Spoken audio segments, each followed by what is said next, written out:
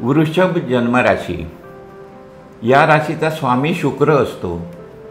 आणि बाराव्या स्थानी गुरु मेष राशीत आहे. बारावं स्थान हे साधारणपणे कोर्ट कचेरी वगैरे जी कामं असतात त्याच्यात यश देणारं असतं. किंवा तुमची जर सरकार दरबारी काही कामं अडकलेली असतील तर ती होऊ शकतात. मंगळासारखा ग्रह तुमच्या नवमा स्थानात पंधरा मार्चपर्यंत आहे. त्यामुळे जर काही महत्त्वाचे प्रवास करायचे असतील तर ते घडू शकतात.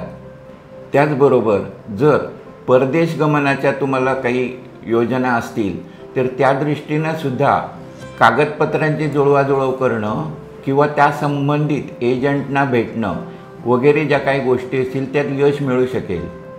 वाहन खरेदी करायची असेल तर ती सुद्धा होऊ शकेल.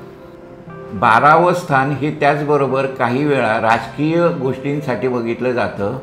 आणि त्या ठिकाणी असलेला गुरु प्रसिद्धी मिळवून देणारा असला तरी तुमच्या वक्तव्याचा मात्र दुरुपयोग होणार नाही किंवा विपरीत तुम्ही बोलणार नाही याकडे जास्त लक्ष द्या.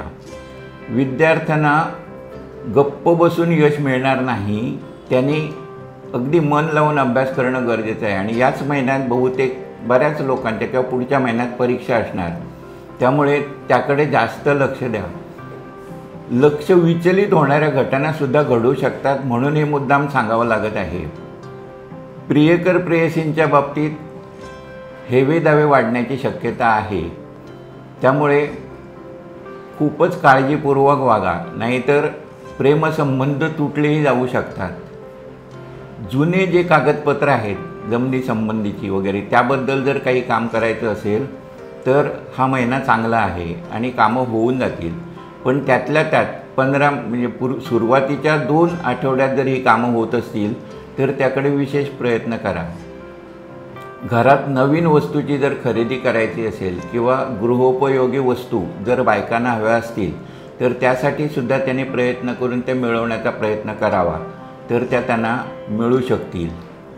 लहान मुलांचा हट्टीपणा थोडासा वाढणारा आहे. त्यामुळे थोडासा मानसिक तापही तुम्हाला घडू शकतो.